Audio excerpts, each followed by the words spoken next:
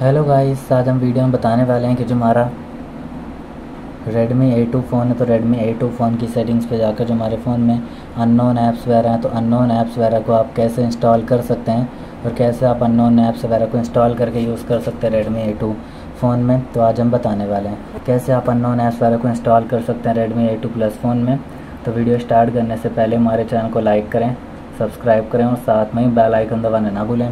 तो video start कर ले दें तो आप देख सकते हैं कि जो फ़ोन के आइकन्स हैं, इस तरीके से शो हो रहे हैं। तो आपको स्वाइप करना है।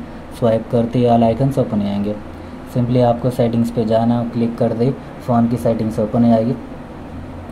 तो कैसे आप फ़ोन की सेटिंग्स पे जाकर स्पैम कॉल प्रोडक्शंस का यूज़ कर सकते हैं? सिंपली आपको सर्च करना है।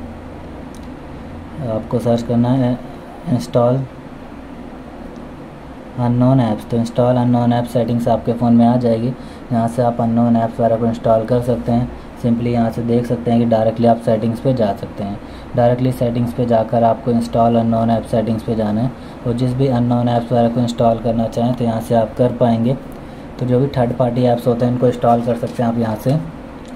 देख सकते हैं कि यहाँ से आपको बस किसी भी ऐप्स पे क्लिक करना है। तुम्हारा जो ऐप वॉलेट है तो ऐप वैलेट को भी आप यहाँ से इंस्टॉल कर सकते हैं, पर जब आप इसको इंस्टॉल करते हैं तो यहाँ पर लिखा रहा है danger, install app for unknown sources तो इसमें जो हमारा ऐप्स हमने अननोन सोर्सेज को ऑन कर दिया है इससे हमारा जो अननोन जो डाटा है, हमारा फ़ोन से चोरी हो सकता है।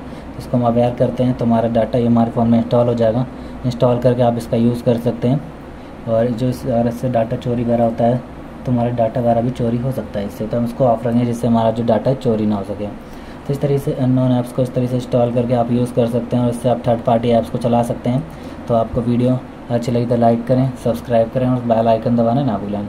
थैंक यू नेक्स्ट वीडियो के लिए इंतज़ार करें।